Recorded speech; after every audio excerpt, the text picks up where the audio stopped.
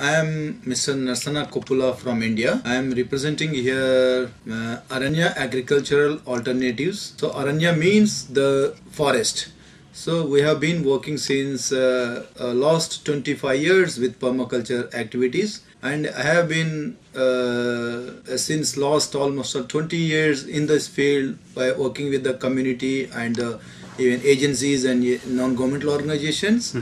So this I am uh, working in the southern part of southern part of um, uh, India, where I am working with the thousand families, where these people are totally tribal community. They do not have any land. Whatever the land it is there, that is unproductive because the total land has been uh, taken away from non-local people. There we have a plan to work with them on livelihoods. Mm-hmm. Slowly, whatever the pieces of land they have, we mm-hmm. wanted to develop a, a mm-hmm. agroforestry on their own lands and to look after their children at the same time livelihoods of those community.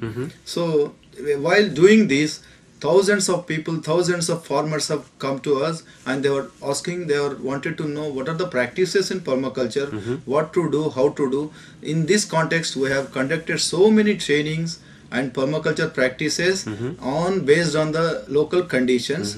In this meanwhile the other government agencies and non-governmental agencies also they have come forward to help us to work with like nabard which is a uh, uh, uh, bank which is a bank. They are ready to fund us to work with the tribal community around thousand families. Wow. i think it's a it's an area where i'm working on um, tree based farming. Yes. i think it is a very very good sign of Mm-hmm. permaculture practices mm-hmm. we ca- i can take this concept in the mainstream Yes. while working with these thousand families. Mm-hmm. Even i can give the message of what is permaculture. Need not to talk about the permaculture.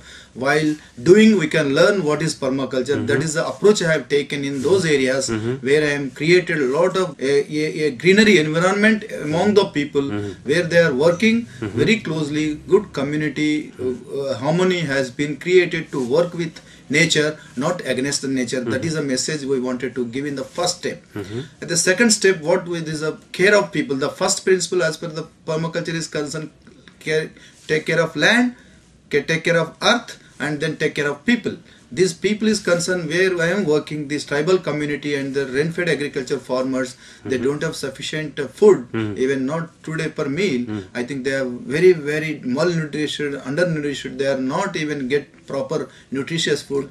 Earlier they used to get entire product from forest. Hmm. Now forest is been almost all cut they are hmm. felling and they are multinational companies and all the corporations have entered for mining. Mm-hmm. That mining is almost all devastated entire area. Mm-hmm. Now they are migrating cities. Mm-hmm. That is how the people are looking for some alternative. At that time we entered into that area. What we are talking about this permaculture is not solution for everything but it's a, one of the alternative. You can take up you have to work with the nature mm-hmm. and you have to grow your own thing. Need not to mm-hmm. depend on somebody or mm-hmm. need not to depend on external inputs. You can depend on your local markets and you can depend on your own things. You can grow and take healthy food. If the healthy food is there your healthy healthy people human beings will be there. At the same time that will that chain will continue so that we can create a new life of this is a, the, the, uh, this uh, on this planet earth. That's called this is a there's a permaculture is a, a way of life. Your lifestyle has to be changed. Hmm. You have to take resources into in your control. Hmm. You have to work with nature. You hmm. have to not eh, not for competition for for for cooperation. That is what we are talking to the people. Then most of the people they are coming forward. They are taking up to entire resources into their hands the total control of the resources and they are working with the nature not against.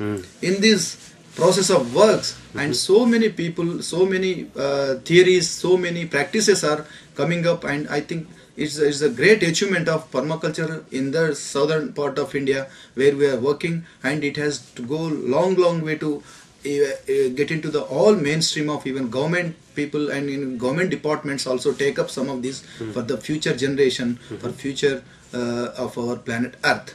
So that is what the aranya is struggling and aranya is working towards uh, uh, is a greenery and uh, that's why my slogan is forest is future. Hmm. Without forest there is no future. Hmm. Because forest means not a huge trees and big tall trees. It is a greenery. You have to increase greenery. Hmm. Every every life has been depend on the greenery. Without green green eating nothing can be happen on this planet earth. This is the only planet where all life forms can survive if you leave this planet i can you can't survive anywhere on this world. So that is the message we wanted to reach the you grow greenery you grow your own food don't depend on on on, uh, on a external on, uh, on a somebody on uh, the the uh, others which uh, they are providing and they are giving is a totally polluted. But you can grow your unpolluted food you keep healthy and you keep others also healthy. That is the message we are giving through our work. The part of these projects we have totally all natural resource management like restoration of tanks there are small water bodies are there that totally has been polluted that we are conserving the natural resources part of that. We are asking them to don't pollute the water don't pollute the soil don't pollute the air. These are the slogans we are taking into people. They are cooperating us with their help of their uh, cooperation. Today we are able to take up all natural resources all natural body water bodies and your natural uh, way of life living with the nature living with the uh, healthy soil healthy plants and healthy people. That is what the message we are spreading over entire that uh, area. The people are ready to take up their resources into their control and the, slowly this message will spreading over entire that region that will help a, a future generation not for us but for others it will contribute it will help them to be a humankind to survive to serve the other humankind also. That is the reason where we are working for the aranya agriculture alternatives is is meant for the greenery. That's my slogan is forest is future future is going to be forest. Without humankind human human beings the already tree was there. The plant kingdom and the animal and people this is a companion this is the combination of the three living beings on this planet can uh, earth can be ecological balance whatever you say or ecological imbalance whatever these three components should be on this planet earth. Then only we can survive with a harmony and with nature. So How- that's it. Thank you. How are you finding Climate Forum, and do you think the Climate Forum's been a helpful process to be involved with?